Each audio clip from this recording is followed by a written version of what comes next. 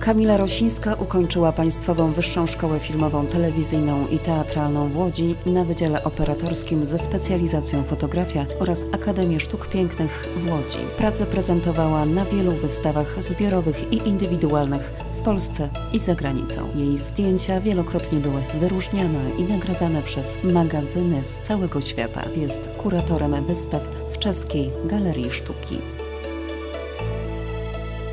Sielskie inscenizacje, a więc przywołanie dawnej wsi na zdjęciach, drewniane chałupy, wiklinowe kosze, zwierzęta gospodarskie i dawne obrzędy, chociażby darcie pierza, ale też kąpiel w blaszanej miednicy czy kiszenie ogórków. Na zdjęciach dzieci, które, jak mówi autorka, bardzo lubi fotografować ze względu na ich autentyczność i żywiołowość. Fotografia to pasja, z którą jest związana od wielu lat. Przygoda z fotografią trwa, myślę, od zawsze. Natomiast tak, zaangażowanie, jak widzicie Państwo na zdjęciach, to myślę około 15 lat. Przygoda jest długa, różna, bywała burzliwa.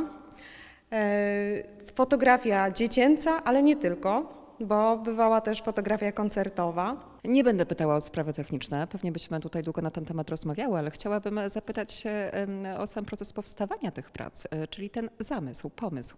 Mam na myśli scenografię, mam na myśli ubiór, no i przede wszystkim te fantastyczne sceny. Scenografię. Właściwie to nie wiem od czego zacząć. Czy od scenografii, czy od ubioru. Wszystko tworzy całość. E, wszystko w tej pracy lubię zamysł. Zamysł też powstaje czasami bardzo spontanicznie, czasami według jakiegoś scenariusza, który układam. Zamysł pierwotny był taki, że chcę zapisać wspomnienia moje z dzieciństwa. To, co bardzo lubiłam, chciałam, żeby moje dziecko miało pamiątkę, bo w większości prac, które tutaj są, jest moje dziecko, moja siostrzenica, mój siostrzeniec.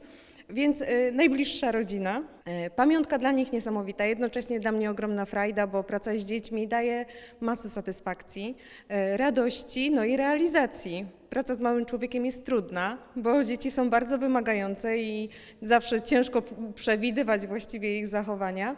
Natomiast e, kiedy tworzymy scenografię, bo przy wielu pracach, w większości tych, które tutaj Państwo widzicie, pomagała mi moja siostra. Pracowałyśmy bardzo długo, ale dzieci miały przy tym ogromną frajdę, więc e, nawet takie sytuacje, kiedy maluch gdzieś w kąpieli, jedna z drugą się bawi, jedna się potyka, to druga z pełną premedytacją polewają wodą, więc e, bywało różnie. Zdarzało się, że rekwizyty ginęły, ponieważ moja siostrzenica zjadała jajko, które było do sesji wielkanocnej, ganiały ją kury, koguty, koguty było wesoło.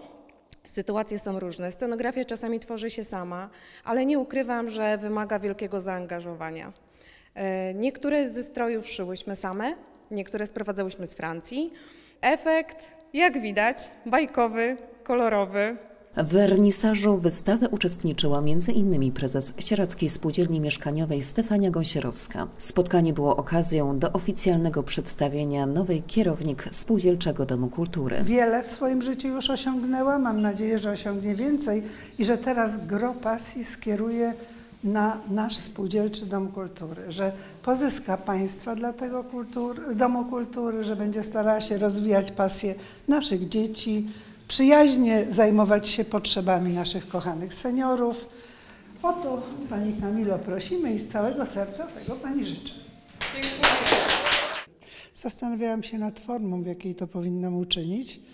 Wystawa prac, e, które są dziełem właśnie Pani Kamili Rosińskiej jest chyba najlepszą z możliwych okazji, bo jej talent będzie e, bronił ją także, tak? czy świadczył o niej. Nie jestem może wybitnym znawcą, czy w ogóle znawcą fotografii, ale one przemawiają chyba do każdego obserwatora, a najciekawszy w nich jest temat, bo tego tematu dawno nie widziałam nigdzie ani w fotografii, ani w żadnych innych dziełach. E, temat to jest obrzędowość na wsi. Y, kostiumy z jakiejś wcześniejszej epoki, swojski klimat, cudne dzieci. Naprzeciwko mnie na pianinie stoi taka scenka nad jakimś strumykiem. To jest po prostu tak niesamowite i to odbicie w wodzie, że trzeba rzeczywiście mieć ogromne wyczucie i umiejętności, żeby takie elementy doskonale uchwycić. Te zdjęcia przede wszystkim oddają taki właśnie, taką właśnie taką utopijną wieś, która w zasadzie no, nigdy nie miała miejsca, którą możemy zobaczyć tylko właśnie w filmach. I myślę, że właśnie te zdjęcia tak pokazują nam, że taka wieś też może być właśnie piękna i właśnie te szczegóły, takie właśnie takie te drobne przedmioty, takie na przykład też nie wiem, te misy takie jak ze starych lat, też dzieci poubierane tak w taki inny sposób. Myślę, że to wszystko takie oddaje. tak? Takie przaśne, gdzie no, człowiek tęskni do czegoś takiego. Wspaniała wystawa, my bardzo lubimy e, fotografię pani Kamili.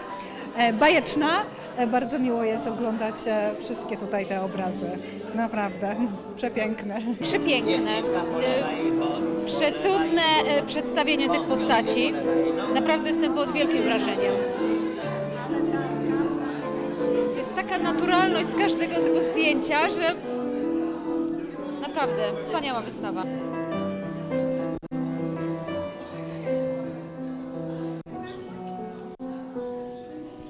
Całości dopełniła piękna oprawa muzyczna, na której wybrzmiała polska muzyka filmowa w wykonaniu kierownik sekcji fortepianu z Państwowej Szkoły Muzycznej pierwszego stopnia w Sieradzu Izabeli Rudzkiej-Kosierackiej oraz jej ucznia.